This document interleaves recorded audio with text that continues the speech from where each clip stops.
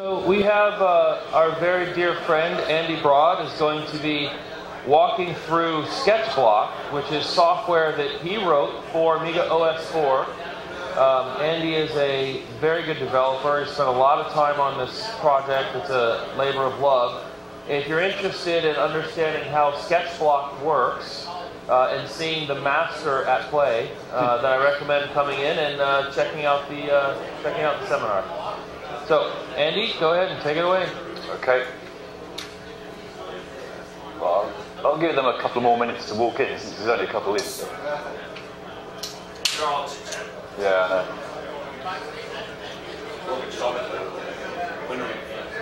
The raffle, yeah. Because particularly thought uh, Ken Lester was interested, so calling Ken Lester. Andy, I'll walk around. Right, okay.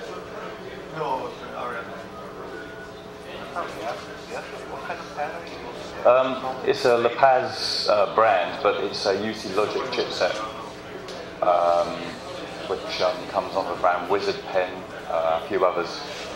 Um, there's a dri- I wrote the driver for it, it's on OS4 Depot. It's, it's a fairly simple one, it's just, just got um, sensitivity, no, no tilt or anything like that. No, I hadn't either, but uh, I found it cheap in, in, in the computer store, so I bought it and sketched, find, found a driver for it, Linux, converted it, yeah. Okay then, um, thanks for coming along for this demo. Um, I'm going to show you a, a, few of the features of Sketchblock. Um, it's gone through quite a few iterations, so I'm going to talk about it in general rather than trying to think about what's new, because um, some of you may not have seen it from at all, so um, I'm to work from that. One of the things, if you've seen it before, brand new icon, which um, Kevin Saunders did for me. And one of the first things I'm going to mention, which is a new feature, is it's now themable. So we're going to start it up. It's running now with, with the, um, the old theme, which um, uh, Martin Mason created for me with, with the um, AISS icons, plus a few special ones like these selection gadgets. Um, so I'm to, what I'm going to do is going to convert it to the new theme. So I open up the um, settings and the edit window and promptly find that I haven't got ProAction running, so just fix that. Well, I haven't installed it.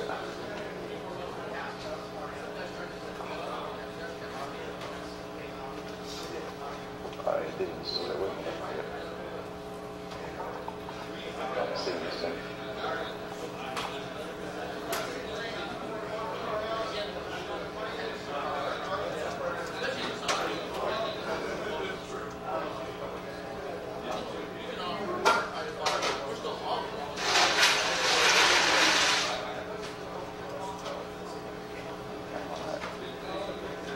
Uh, talk about embarrassing.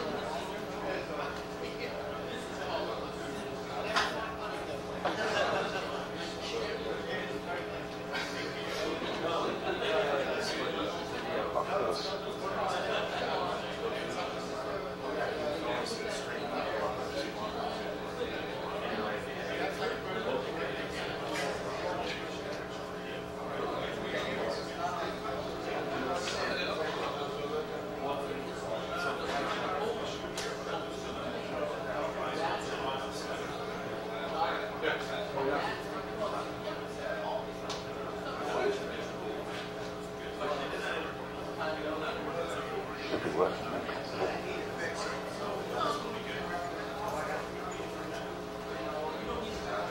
Try that again.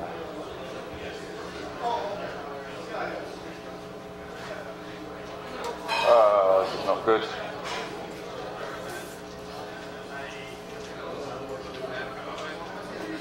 This is all set up.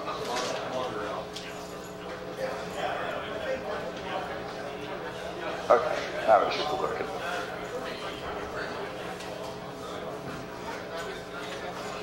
There's another quick demo Tony's fabulous shell there for you. okay, yeah, right, go into the settings menu, which comes up nicely. Um, there's a new, a new entry, theme name. Um, we're going to change from the AISS theme to the KS theme for Kevin Saunders. I think that's spelled right, I can't quite see the text. Save the preferences. Does require a restart, so I stop the program, start again. Uh, that didn't work.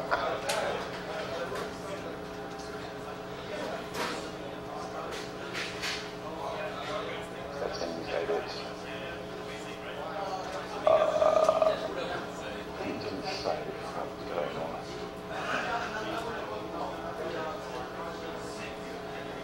It's all work when I practice at home.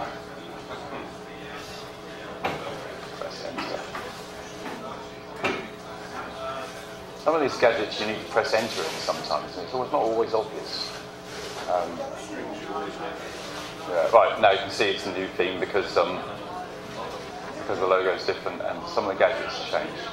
Um, but the themes that I've provided for these two things, they come in two parts because um, in order to get um, the change of tick marks and such like, you need um, separate graphics press. So what I'm going to do now is stop again and open up screens press. Uh. And I'm going to enable the um, sketchblock preview window that I've got waiting. And then use a custom um, GUI prefs, now um, go to um, sketch block, assign.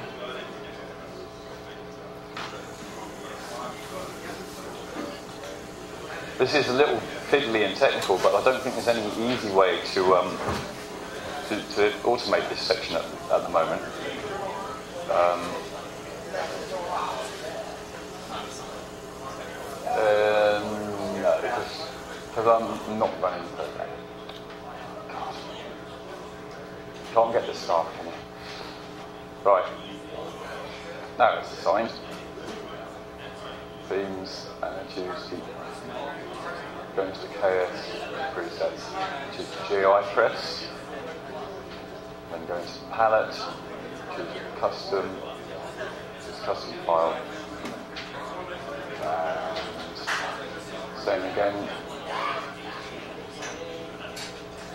Go to sketch path.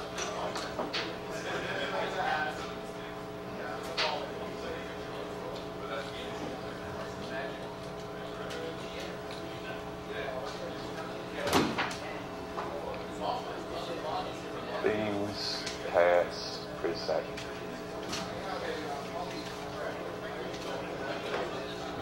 and palette stress. Right, and then save that. Now, a restart. This box will. Or it won't.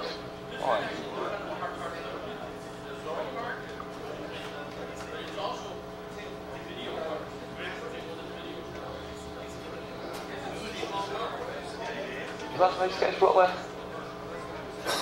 Should be. Yeah.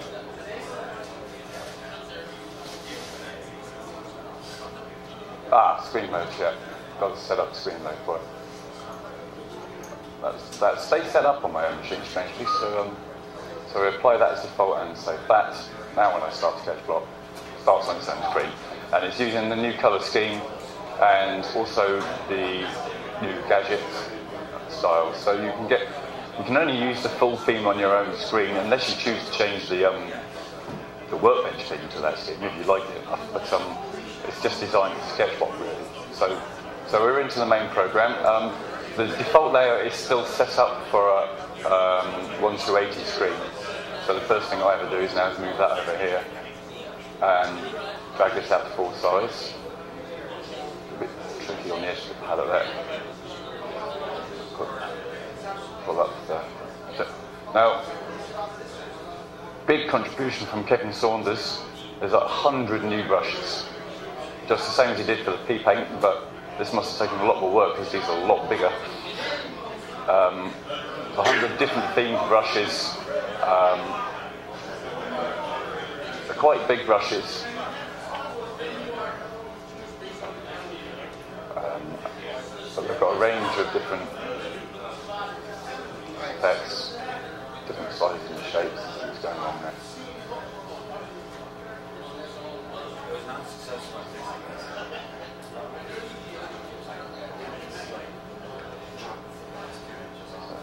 Oh, the colours on. I clicked the colour. Yeah, it's a nice effect, but um, uh, I was going to demonstrate that later, so I'm confusing myself.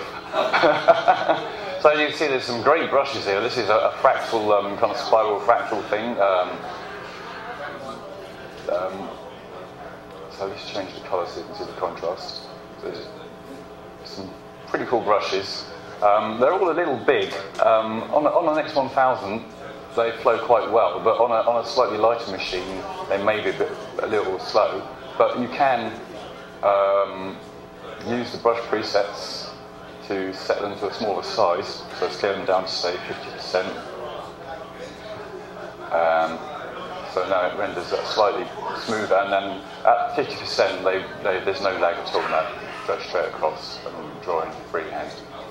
Um, and SketchBlock is designed for freehand drawing, so the most optimized part of the program is, is, is being able to draw freehand without.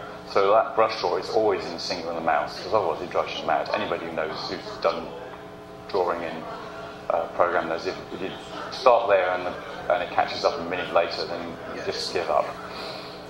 Um, so fantastic selection of new brushes, which is one of the major contributions to 2.7, which is going into the Radiance package and also as a standalone. Um, so features, what we can, what we can do is, it's a layers-based program. So we've got all this on one layer. We can add a new layer, which uh, default is white, so it overwrites. Um, so we can now draw something else. Switch back to a smaller brush, just um, for.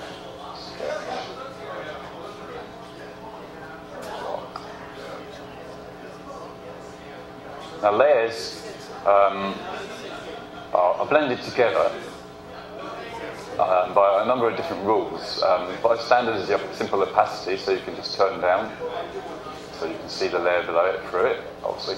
Um, but also there's um, a whole set of um, multiply, so it interacts, it multiplies the colours together.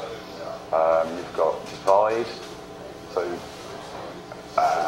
uh, these are a lot. These are fairly standard modes, so you can get different effects. So add works like a um, almost like a palette, and you can use it to uh, what you call it. Um, you see that, yeah. Um, in this context, I'm subtract. So depending on the different colours you've got, you can get some completely amazing effects just by doing this, and it work paints through. And of course, you can use the opacity to vary the amount of that as well. You get um, quite interesting combinations it depends on what you want to do. Um, but the most common two I use is the simple normal alpha blend and the multiply.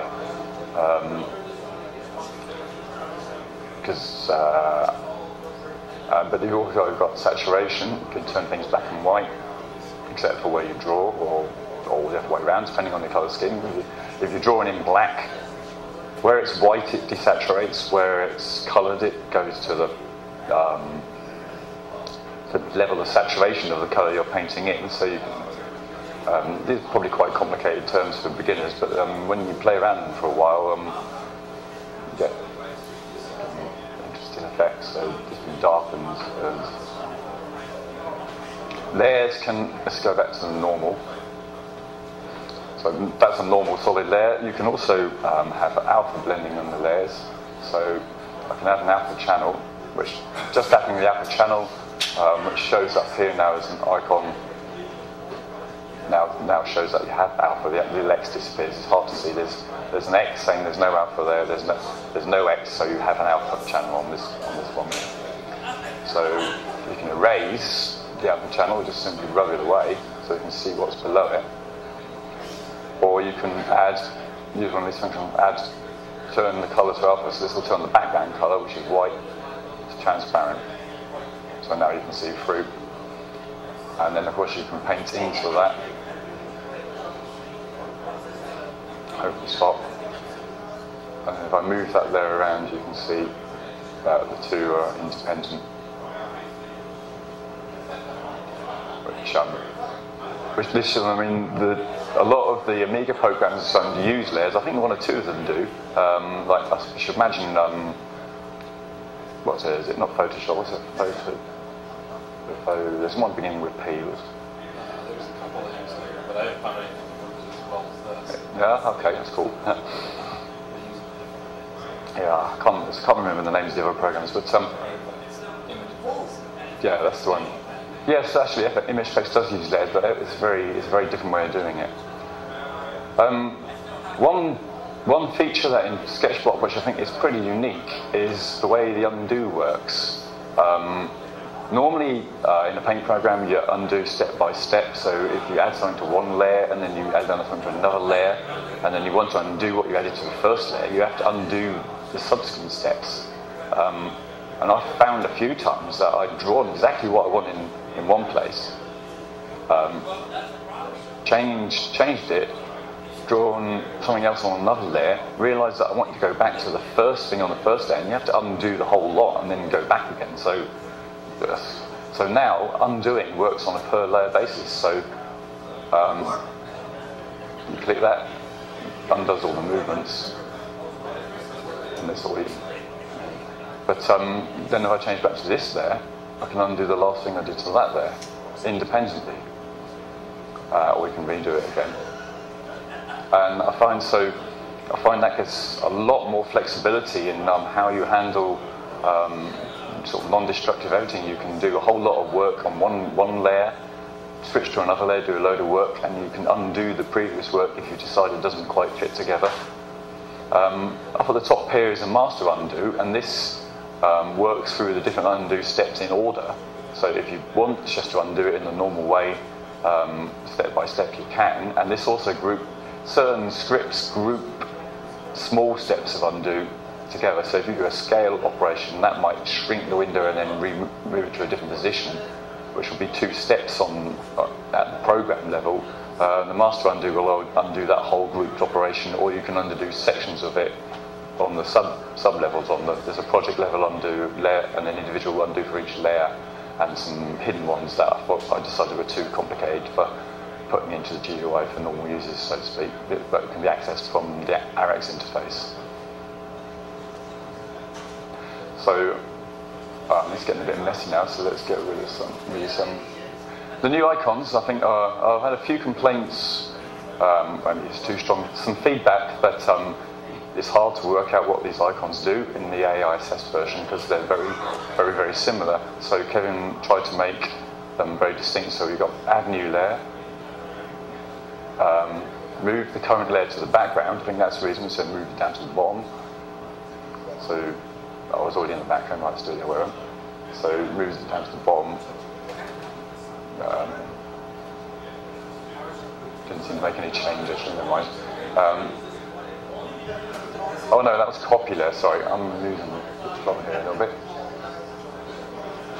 The trouble is they're, they're much more distinct when you've got a focused screen, but when you're at the other end of the room and you can't even see where they are. right, so that one copies a layer.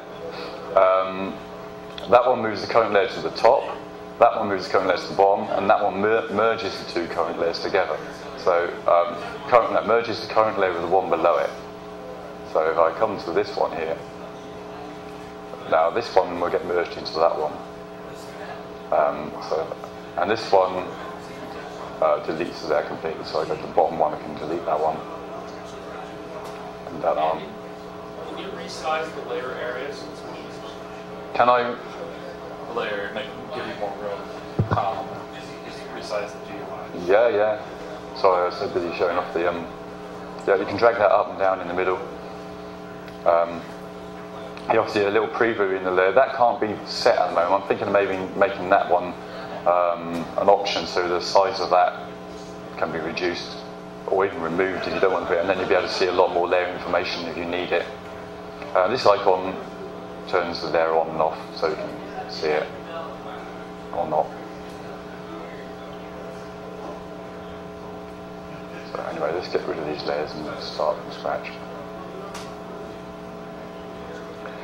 Um, right, some other functions. Um, as well as freehand drawing, um, we support text um, and vector paths, which are text is converted into paths, so it's a very similar aspect. So um, go to the layers menu and can't see, create text option. Uh, got a little ProAction GUI comes up, so it's a, this is a script running with my ProAction server and the normal user doesn't need to know that, but um, just for the technical aspect, it kind of runs. It's basically an ARexx script, creates a, creates a GUI, and you can um, do all sorts of things from it. This one creates text, so we've got text in the middle there. Um, using the text gadget, you can put whatever you like, set the justification. Um, get into that, type in some text.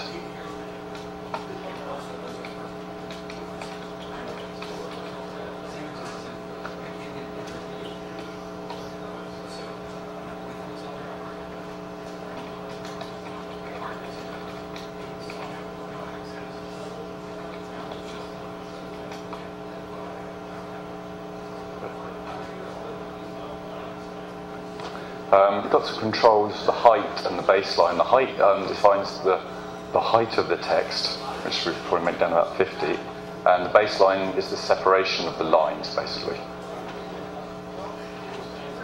Um, and you can choose a font, and basically you directly choose uh, any any TrueType or PostScript font.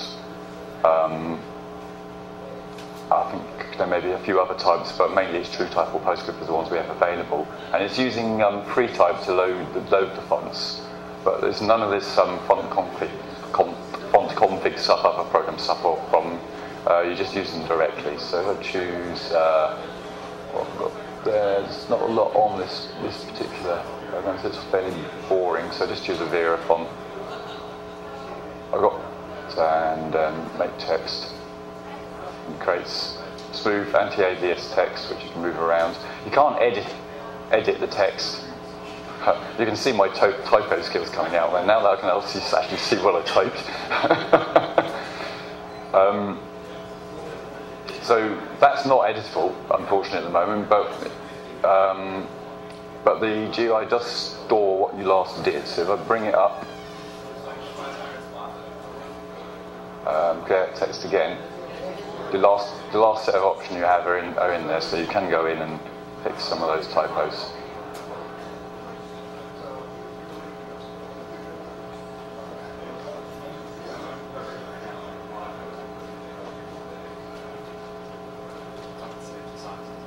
Yeah, everything should be safe. So we make that a little bit bigger. So, Andy, any plans to add uh, a font browser that lets you see preview of fonts? Not at the moment, but that's not impossible. Um, that would be slow though, because I'd have to be accessing all those T- TrueType fonts with font with free type and rendering them off and stuff. So um, you might wish I didn't by the time you. It, it probably makes more sense to do that with uh, with OS gadget cache or something. Yeah, um, I'm not using the OS to load the fonts because I need um, the, the, the OS API doesn't give you access to the actual metrics of the font. Um, it'll render the font for you, but I need it um, the actual positions of the dots and the vectors and such like because um, what this does is it creates um, a path from the fonts, and I'll, I'll do I'll do a quick demonstration of the paths in a minute, but um, which is why you get such smooth anti-aliasing, which you can't see so well this. But if I if I zoom in, maybe it might show up a little bit better. The resolution of the screen is a little bit um, fuzzy. Now this, I don't know if you've used Sketchblock before, but you might notice that the scrolling is now dead smooth. Um, up until last week, it was absolutely abysmal, uh, almost an embarrassment to be honest, because I had to render everything on the screen for every little touch. But I've now done a proper um, damage areas and such like. So I really render the edges as I scroll and use scroll raster to properly do it, do it the proper Amiga way. So so coming back onto the topic, you can see that you've got very good smooth anti-aliasing on that text. I don't think you can get much better. Um, unless you make it a bit softer, perhaps, I don't know, but that's, I like that's pretty good. So you can put pretty much arbitrary text in there. Um, editable text is um, on the to-do to list. So um, I zoomed it from the zoom gadget at the bottom there, but you can also um, use the shortcut in the menu. Uh. And there's a fit to window option, which is the fastest way to get back to normal. Um, a little trick that I use actually when I'm using a stylus, which I'm doing at the moment, it's really hard to access the right mouse button. So I simply use the right and Minga Alt combination to bring up menus uh, with, with my left hand whilst working with the first right hand. So it can be sketching away like this uh, and then bring up the menu when I need it. Um, to bring up, say, the image resize, which has got um, simply half the size of the image that will. Now that, that's an example of the, um, the composite undo that I was talking about. That was done in a set of set, separate operations, which you could use the master undo to undo the whole lot. Or you can undo it on a per layer basis. Well, that, that's a project resize, or, the, or one operation per option. Should you ever need just, just to undo one section of it. So it's a complicated concept to get your head around, but I think it's really powerful once you know how to use it. Right, that's text. Uh, another thing I was going to show is um, is path. Path. So I'm going to load in um, a new project. What I'm doing here is I'm going to directly import um, a reference image from the next.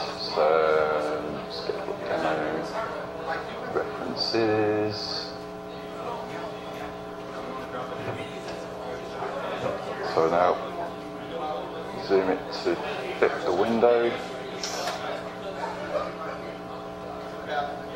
Oh, this is a nice lizard image I found. Now I'm going to load in a work in progress because this takes quite a while to do.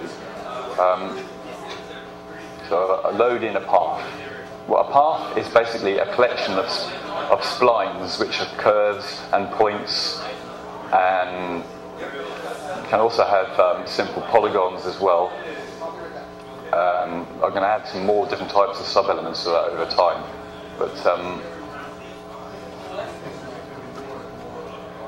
uh, I think that's the right one. Does that come up? Right, so I loaded the path. Um, this area of the GUI needs a little bit of um, tweaking because you can't actually see that you've loaded anything there. But if I go into edit path, uh, it will now active and you can see all the points um, on around the out, outline of, of the lizard. And I'm going to zoom in a little bit now.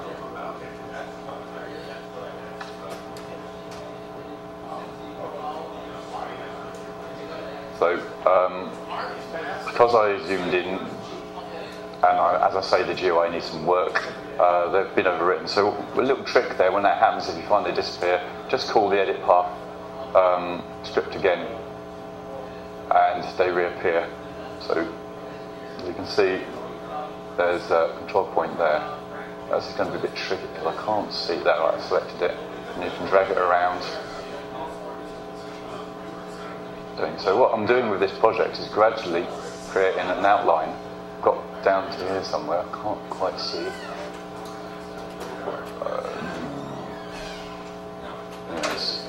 I'm going to use that edit path trick again because I really can't see what's going on there. Okay, so you can create outlines. So to create a new path, you press Shift and Control that's a new a new path. There's a dot there. Now to create a new dot on that, you press um, by clicking with the um, with the stylus and pressing the Control key, and then another one, uh, and then you can move backwards with the keyboard, um, and then convert that point there into into a control point rather than rather than a point. So that point's an outline there, and then I can move to the next toe and create another path, add another line, um, same again.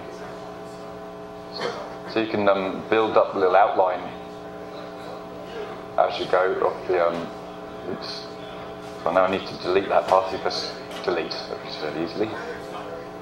I've done it again. Press shift and then I think this is a neat little feature that you can build gradually build up.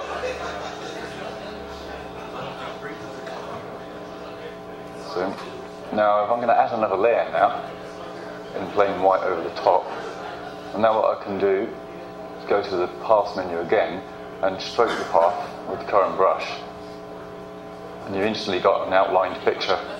Um, you can save that path out and you can use it to um, create vector graphics from it. Now, this is um,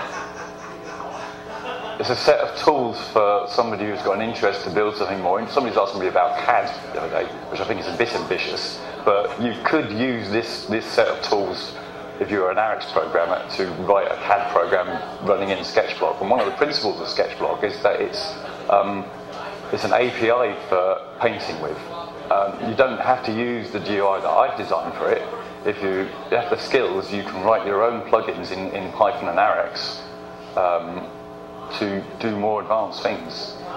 Um, so now we can we could make this one transparent so it overlays the original, and you see good map. Yeah. A couple questions on the path piece. Um, that is considered one path, or is that considered multiple paths even though they're not connected? It's one path. Um, within the Sketchblock definition, a path is a collection of splines, so or objects and points. So they're all they're all grouped into one one big path. And, and when you were drawing the points, um, some of those lines are some of them are connected to the same spline. Yeah. Some are. What was the switch between the connected and not Um, to create a new a new spline, you press Shift and Control to create a new point, you press just press Control. And Shift and Control to create. Control to add. Yeah. And uh, any point that you add will be added to the current active spline. That's it. Yeah. There's, there is some there is some documentation on the website about this, but um, yeah, but. Yeah. but you're not going to remember when you go home in a minute, or when a couple of days to come. Yeah. So. And are a few other tools like left and right mouse moves backwards and forwards within the path. Um, and then just clicking near the nearest point will be selected, or if you shift click, the nearest path um, curve will be selected. I don't know if you can see that on here because of the colours are hard to see. The selected one turns um, turns red, but I'm not sure if you can really see the difference in colour between red and black. I mean, that's black, that's red.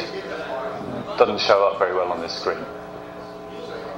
And, and you only have like one path file per layer? Path no, paths, paths are global to the project.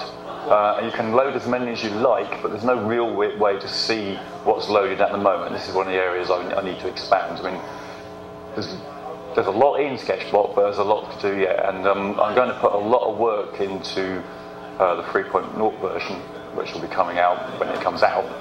Um, Sketchblock is a high dynamic range program, so that means um, rather than 32 bits per image, you've got a whole floating point value for each each color channel, red, green, blue, alpha, which gives you amazing flexibility for shading and such like. But it means it uses a lot of memory, and all some people want to do is scale an image.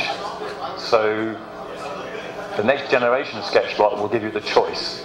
Um, the first generation used 32, then I thought I'm, I'm upgrading to, to high dynamic range. Now I'm going to upgrade to choice. I think the choice is good. So if, if you just want big, uh, not too worried about sub detail, then you can use 32-bit. If you want really fine shading, um, then you can choose to use the high dynamic range. And if I can get it to work, uh, you'll even be able to have combinations within one one project. That just depends on how they interact. Um, how much that might slow things down if I have to do too much conversion. So, so one, one comment on the HDR piece. I think there's an HDR format. I don't know how common that is. So uh, well, something and move around. I, I have built all the um, the support libraries for the EXR format as part of Blender. Um, so I will I will work on a way to import that data because there's no way at the moment to save the HDR data apart from a native sketchblock file, uh, which is great for sketchblock. If you want, if you actually want to port out export an HDR image, then um, then I need to build an exporter for that. Um, but I have already got all that stuff as part of the Blender port. So I need to work out how to in, build a plugin that doesn't mess up the GPL status of my app, which isn't, and that is. So you know what it gets like mixing. Might have to get somebody else to write it for me. Uh, what about like a, was it a EXR data type or something like that? uh, data type's going to be able to handle the data once you've loaded it. There's, there's, unless you, you don't, a picture data type couldn't deal with a- uh, HD at the moment. We'd have to rewrite the picture data type for that. I. I don't fancy doing that. So it would require like a standalone viewer to view the. Yeah, there is one on OS4 Depot actually. Okay. great. Um, if you want to check that out, I ported that a long time ago. It's, I think it's called the EXR View or something like that. So if, if people are creating work with SketchBlock and they want to show it on their Amiga, they would use that viewer to, to their open files, using if they're using the high range. Yeah. Uh, once once I've written a tool for export, maybe I might have a look at that tool and see if I can um, uh, find a way to import sketchblock images into that direct. I haven't really thought of that, but that could be another sub project. Um, right, what have I covered? Text, paths, layers. Can I? I'll just take questions and see if anybody wants. Uh, yes, in a sense you can, insofar as it's got PostScript print support. So you can print to PostScript and set up as a page. You can set up print to EPS, so the whole image goes out as an EPS file, or you can print to PDF. Again, you have to set up the page. Um, let's see if I can. Uh, hang on. Uh, I need to get. No, it's not for action. This one. Oh, the PostScript.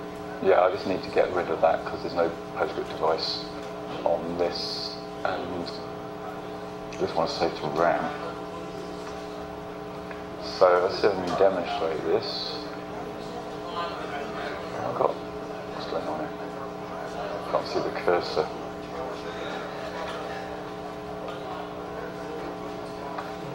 Right.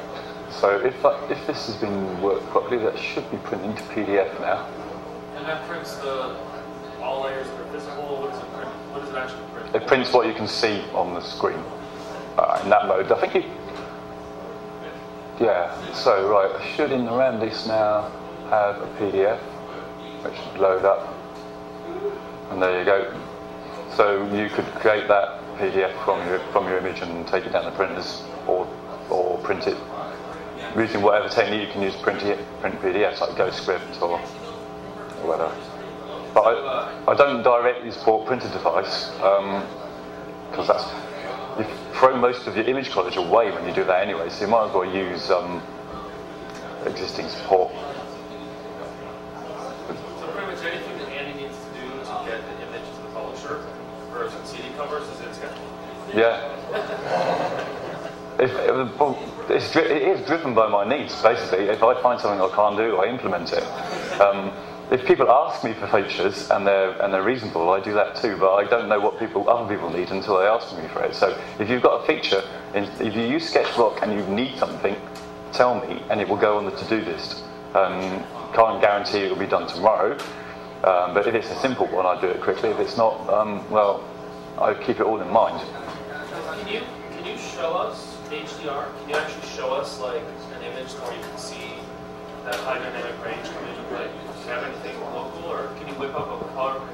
But I can really show is how it how it affects the smoothness of um, of scale of um, fill. I'll show you the um, the gradient fill and put a alternate colour in there and apply that gradient. Get a really smooth colour gradient there. Um, in 32-bit, you'd, you'd get banding on that, even on 32. 16-bit type images, you get loads, but a Can you 30, zoom in? Yep.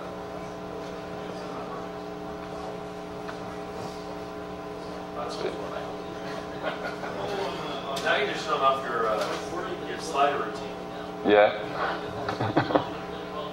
See, I mean, that's a pretty smooth gradient. Um, in terms of, because a lot of people associate high dynamic, high dynamic, range with the compressed images that you see. Um, you can't really do that yet. With this, you need to actually build that up yourself. There isn't, doesn't, I haven't got any compression tools yet. That's something I might look at creating because I know there's, there's, some interest in that. Because um, I know you asked about it, didn't you? And um, about porting a set of tools. Was it you that asked about that? Which one? You asked about porting a set of um, um, high dynamic range compression tools of some kind. I can't remember. And I, bla- I, I bragged that you can do that already in Sketchblock, but but it's not quite true because you have to you have to do it yourself by hand. Yeah, there's a Q there's a uh, QT project called Luminance HDR. Yeah. And it's for taking multiple regular photographs and squashing them into uh, an HDR image, and then you told me that I could do it with Sketchblock. You can. So I took my 12 megapixel. If I had, I haven't got a sample of um, images at different um, things to show, but what you can do is build up four or five layers, and, and then change the way those layers are mixed together to get that effect. You definitely can do that uh, using the multiply effect and opacity and such like.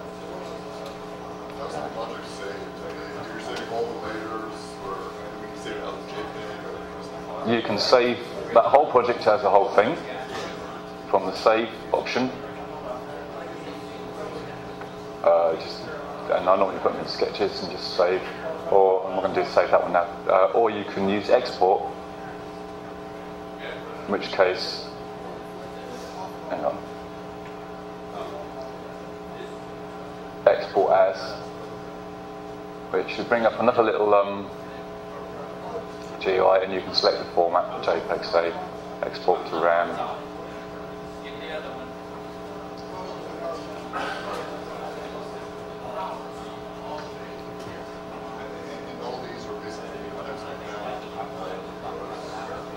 No, um, import, import, files are, are, data types based. Uh, exporting is, is handled by um, uh, PIL, which is the Python imaging library. Um, so all the data types that Python imaging library can load, you can load, can save, you can um, save via um, via the script, which is a, a few really weird ones, um, which are suitable for geographic satellite anal- analysis, and, and a couple of useful ones like JPEG ping and um, and TIFF and such like. Um, I think one of the projects I'm going to work on for the 3.0 version will be dedicated um, loader and saver modules because um, PIL is useful, but it is a little slow, and I think having and you don't get so many access options. Uh, to have a, a JPEG saver where you can set the percentage quality and all that kind of thing would be very useful. At the moment, it just saves as much in order not to lose any quality, it saves maximum quality. If you want to shrink that, then you'd have to load it into ImageFX, perhaps, and fiddle with the with the um, compression qualities and such like. Any more questions? Yep. Um, selection. Oh yeah. Okay. Yeah. Got a bunch of those. Bunch. A load of those. That was actually Okay. Right. This row here. Uh, I can't quite see that properly. Right. You've got four tools. Um, rectangle select, which you just grab that, press the space bar, and that selects your rectangle. This is a bit that quite a few people miss. Um, when you, with this rectangle and ellipse tool, you have to press the space bar to make selection good. Moving the, um, the guide around just chooses a different position but you don't change the selection until you press that spacebar. Um, so that's been confusing a few people. I can't find any easy way of, apart from maybe right clicking, but that's really awkward with the um, stylus, uh, other than actually having a, a, separate key action to do that. So the, the concept is preview commit? Yeah, basically. And now you've got a set of um, options. You've got the replace option, add option, so if you add and then you move up there, and then you again, that adds the two selections together. Um, you've got a subtract option, which is already on, so that now that selects that. So you've got an area selected. You can do the same thing with the ellipse tool. Let's say, um, subtract a little bit of ellipse there. So what the, what the selection tools do, um, a lot of people think of them as copy and paste, but it's not really about that. It's, it's a, a mask, it's a painting mask. So operations now, when you grab a brush and to the complementary colours, you can see it, you just and paint into that layer, they only occur inside that selected area. Let's get a size on there. So as you see, it's like it's not the Can you convert the selection to a path? Can you convert selection to a path? Um, yes, there is an experimental function hidden in the ARexx interface to do that, but it doesn't work very well. It's incredibly. Di- I mean, that is really easy. That's square square lines. Really easy to work out where the corners are, and you get a, you'll get a square path from that. But if you were to do use this function, which is the flood select, uh, let's turn that back to replace and try and focus that eye. Um, that went a bit odd, but um, I think it's because you have that gradient built. uh, yeah, of course, yeah. We can't really see it with the select tool. So let's get rid of that, yeah. Go into the original thing. So I've tried selecting the eye there, so, or I need to make the colour sensitivity a little less. So let's try and select his nose. Okay, so because it's a photograph, this kind of thing doesn't work as well in photographs as it can be. Right, so you, right now, imagine trying to make a path out of that with, with, with code, with by hand, let alone with code, is a headache. Um, the, I, I haven't actually read the code in GIMP. I just looked at the size of the file and thought, right, because I don't want to read GIMP's code too closely because that I mean, contaminates, it? But um, so it, there is an algorithm to do what you asked for, but it's really bad at doing it. Um, you, having said it's not about co- copy and paste, there is a script to enable you to, to um, copy the selection, which um, uses some sub, sub layers and things. Now, if that works right, I should have the um, selection in the key, in the um, clipboard, and I should be able to paste that into a new layer. So there's a new layer now. Um, up the top there, let's turn the old ones off. So what did you, what does the copying do? It's just the selection. Yeah, Okay. Can you, like in Photoshop, there's a tool when you have a selection, you can move stuff around. no, you can't. You can't pick pick up stuff now. You can just um, copy data out. Oh, it's up the top there. There it is. There's the um, the set of images that I just copied out of that layer. So that, that, that operation cut the image data Yeah, and turned it into another layer that's, uh, yeah. Turns it into a, turns it into another layer, and, and which you can then position where you can move that around. And position where you want. That's that's a bit of a pale example, unfortunately. But, that is now actually in the um, system clipboard. So if I um, if I get uh, let's find a, I just no, uh, where's my original? Oh, there it is.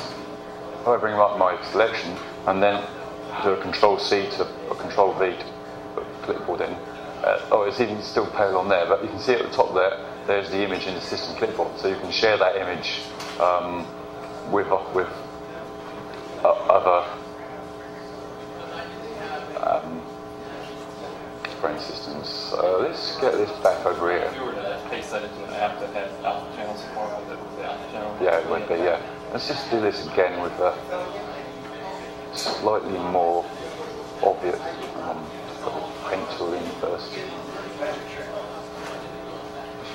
I in? Get that one visible. Turn that one off. Things bouncing around a over here. So if I paint into that layer, should be painting, can't see. Uh, I think this is a bit pretty, um, oh no, the selection's still on, right. Oh yeah, if you need to clear the selection for some reason, um, you can just switch clear and it should go away.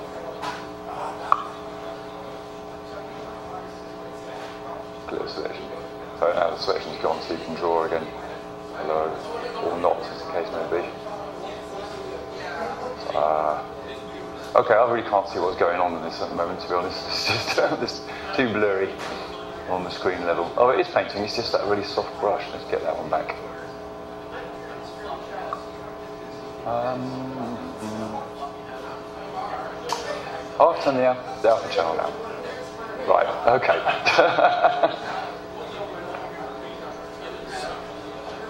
Still, and I've got colours the wrong way around. So here we go. Right, now, and I'll do a colour select on that one, a flood select on it. This will be a lot more obvious. Now I can copy that into the clipboard. Copy selection. Let's turn this layer off that layer off rather. Now if I paste that, you'll be, it'll be a lot more obvious that it's happened. So you can see the, the selected area with the alpha channel that has, has been saved. And um, again, if I um, show you there and do a control V, it's in, it's in the system clipboard with alpha channel. So if, walk us through quickly? I know it's documented, but what keyboard equivalents do you use a lot, like Okay, um, keyboard equivalents. Um, firstly, the way to find out what they are uh, is to go to Settings, Edit, and choose Keys. So there's a whole list. Now that's a little bit cryptic because it's a list um, of keys and the list of commands associated with keys rather than name. But uh, yeah, that's editable. So the standard ones I've got at the moment are P for paint, E for erase, S to swap the colours. Um, that swaps these two colours backwards and forwards. Um, control, control Z is a global undo, Control Y is a global redo. Um, Omega Z and, and, Omega Y also work, I believe, but um, con Control Z is very convenient when you're painting one-handed. Um, so, and there's a few others there, so I'll just show you by hand the ones I can remember. So, P is paint. Let's just clear this out and get a new, new layer. So, and then clear the, clear the selection. Right, P is paint, E is erase.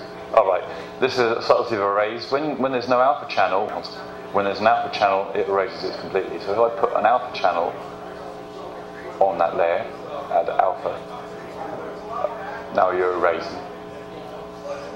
So as I said, P is paint, E erase, C uses a new new color picker tool.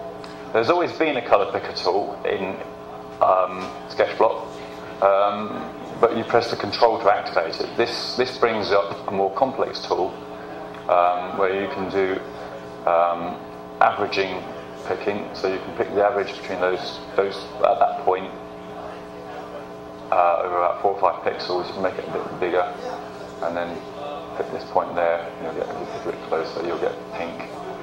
Uh, or you can do the exact pixel that you click on, which is hard to show from here.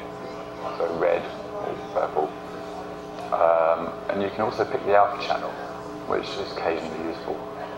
Um, so now you can paint, you can actually paint with zero alpha, which is absolutely useless. But, but if you can get it somewhere in between, you can get, um, you can paint with alpha, which is which is a which is a feature which is occasionally useful, but it's a little bit tricky to set up when I can't see what I'm doing. So there's a more advanced, this is another new feature, it's a much more advanced colour picking tool, but the old colour picking tool which people miss uh, is still in. So you press um, control and you see the um, mouse the mouse image changes to a dropper, and you just pick up the individual pixels like that. Uh, there's, a, there's a few more things I could talk about, but I've been talking for quite a while now, so are there any more questions before I, before I wind up? Freehand? No, not at the moment, no. Um, yeah, you could you could do a you, you could simulate that by creating a layer over the top and then painting the area you wanted to select and then selecting that. Um, but but there isn't a direct freehand selection tool at the moment. Can you change the color and then you, let's say, redo the new color or change No. No, the redo would save the actual um, change, and if you re- uh, the undo would save the change. If you redo it, um, it will do it exactly as you did it before. Otherwise, so it's, it's saving the bitmap data that's changed, not the actual. It, it would, yeah. Uh, That would be. I don't. Oh, yeah, there is a color mode. You, Yeah, you could change the color that way. Yeah. you wanted, you wanted, it was red and you wanted it the exact same thing to be blue, it would overlay after every color. Yeah. the settings and see what result that we set different Sorry? You change the settings, like say maybe more start You'd, you'd have to, you'd have to draw it again if you want to if you want to change it on that level. Any other questions? How much does the undo? For instance, if you were using pressure sensitive equipment Yeah. and you. Yeah. You press undo, does it, undo the, the whole Yeah. thing or, or just the last the It undoes the last. An individual undo action undoes the last stroke. So, um, on the paint tool. So it undoes from the moment you put the paint tool down to the moment you lift it up. Yeah. Um, it doesn't make a note of those pressures. It only it, what it undoes is the change to the image. Yeah. Um, uh, in terms of number of undo steps, it's unlimited and um, apart from available memory. Uh, you can set a limit on how much memory to use. Some, on a long project to work, you could actually build up quite a stack of them. And after a while, you, don't really want to undo the first couple of steps. Um, but in principle, if you set that limit to zero, so it's infinite, you could you could start at the very beginning and redo the whole lot from scratch. If